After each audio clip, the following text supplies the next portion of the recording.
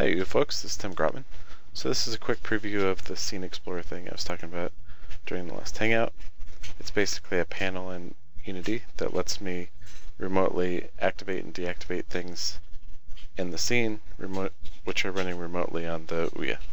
So I've got the Ouya connected here and I can deactivate some spheres and of course my capture software has a 3 second lag.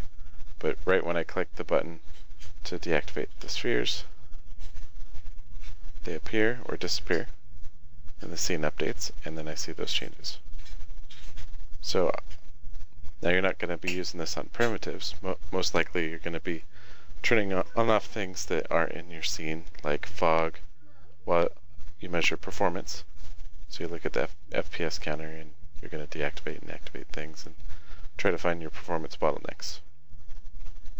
So uh, I'll keep you posted and thanks for watching.